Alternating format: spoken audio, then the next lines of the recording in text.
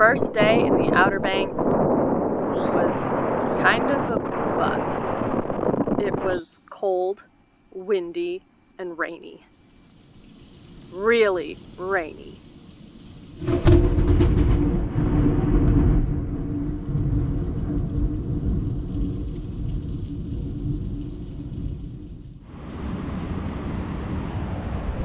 We made the best of it, though.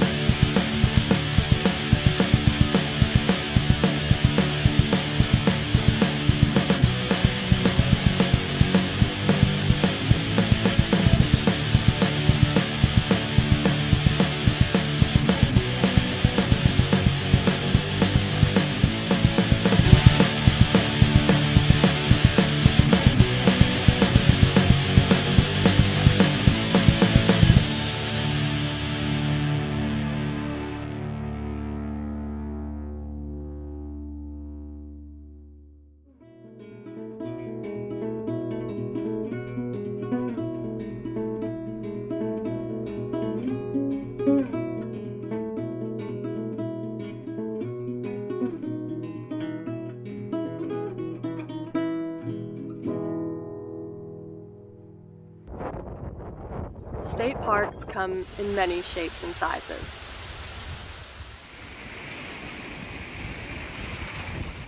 But this one is unlike anything I've ever seen before.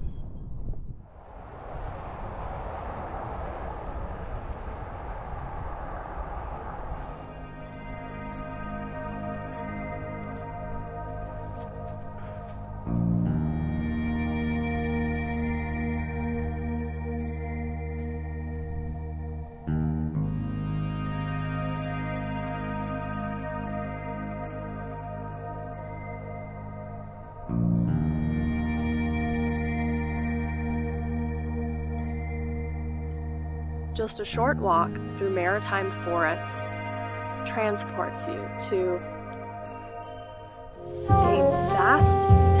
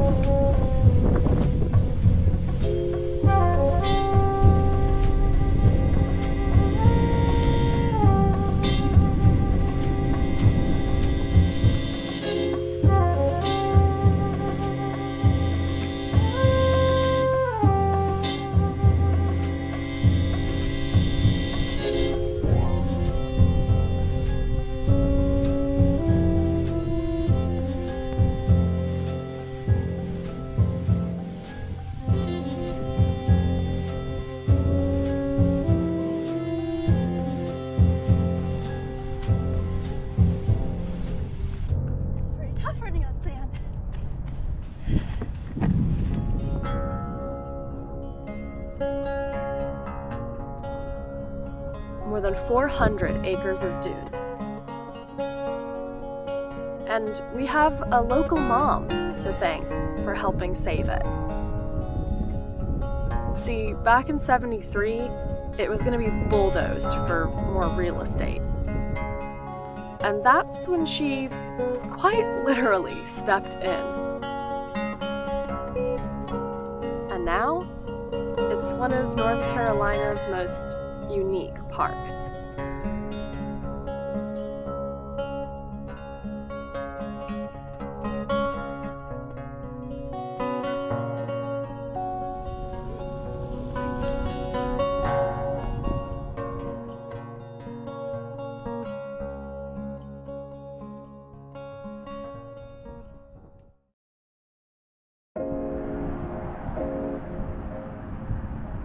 To admit, I didn't know very much about the Wright brothers before this.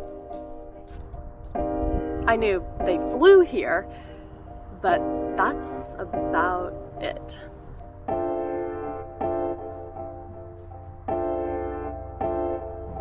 One, two, three, and then somehow all the way out there. Yeah, that's their successful one minute flight.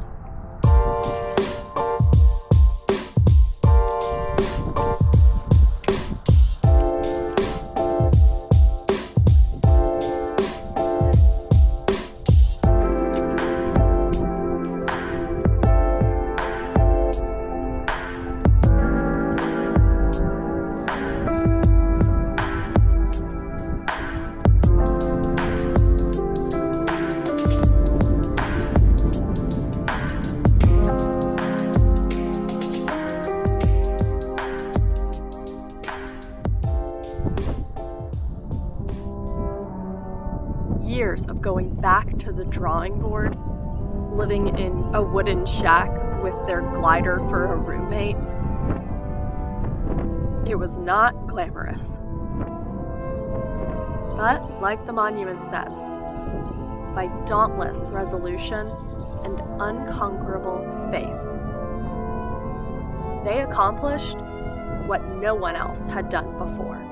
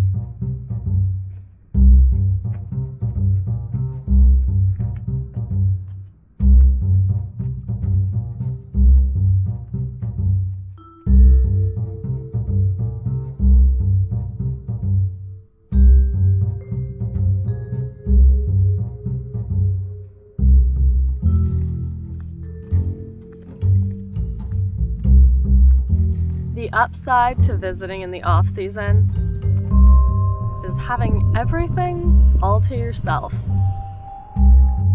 The downside, everything's closed. Well, maybe not everything. Oh my goodness.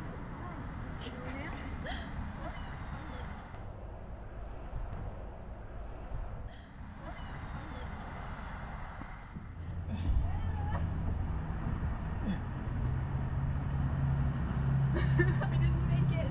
Gosh. Help mom. Your mother can't help you now. You've made your My choice. shoulders don't fit.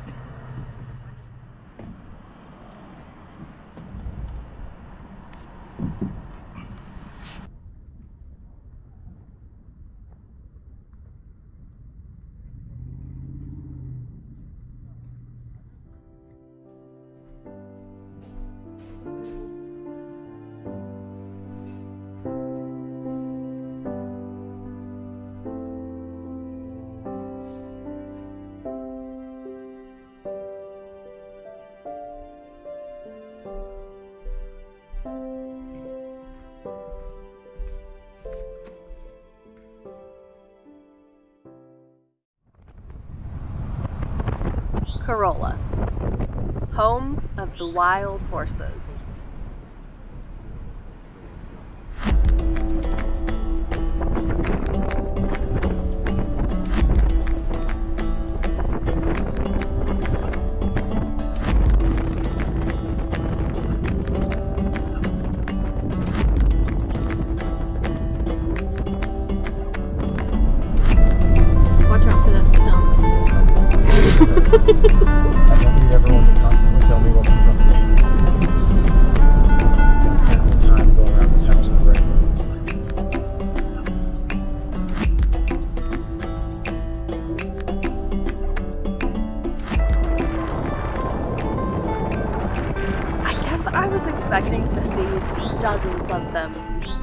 Majestically trotting down the beach, but there weren't any. So we took a little detour. So I want to take one of those little turns like into the into the town. Yeah.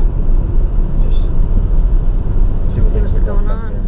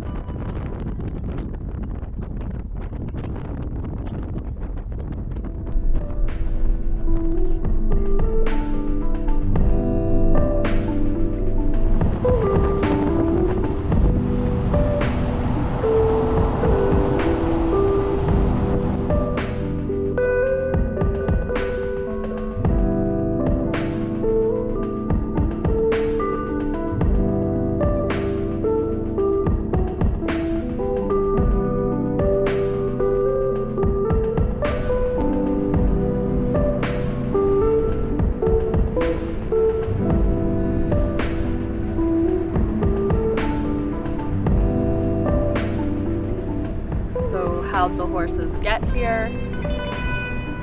Spanish explorers brought them over in the 1500s. At one point, the herd numbered in the thousands. Now, there's just under a hundred.